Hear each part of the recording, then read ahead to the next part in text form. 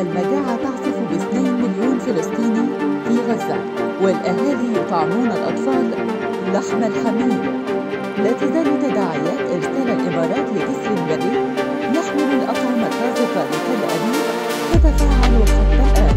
وفي نفس الوقت حذرت الأمم المتحدة من أن سكان قطاع غزة يواجهون مجاعة قاتلة. وقالت المنظمة الدولية أن هذه المجاعة بسبب الحرب والحصار التي تفرضه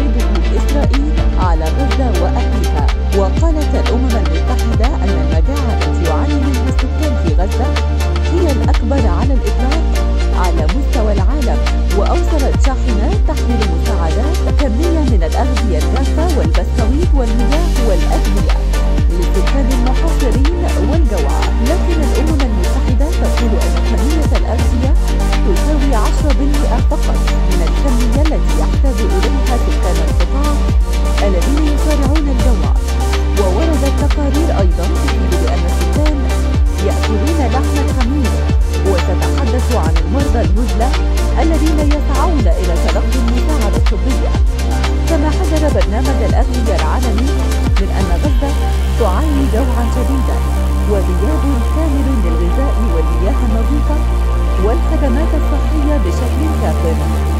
ووصلت المجاعة في غزة لمستويات المرحلة الرابعة من الجوع.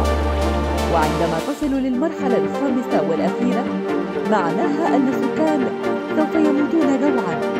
وقال تقرير الأمم المتحدة أن 37% من سكان غزة على مشارف المرحلة الخامسة بالفعل من المجاعة وهي مرحلة التدهور جوعا حتى الموت.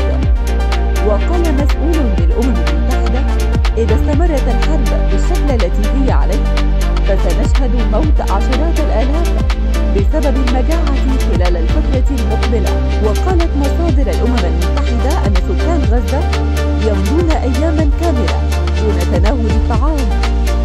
وأن كثيرا من البالغين يعانون الجوع حتى يتمكن أطفالهم من تناول الطعام. فهل تستيقظ ضمائرنا ونغيث أهل غزة؟ أم تظل ضمائرنا بسباتها ونترك سكان القطاع يموتون جوعا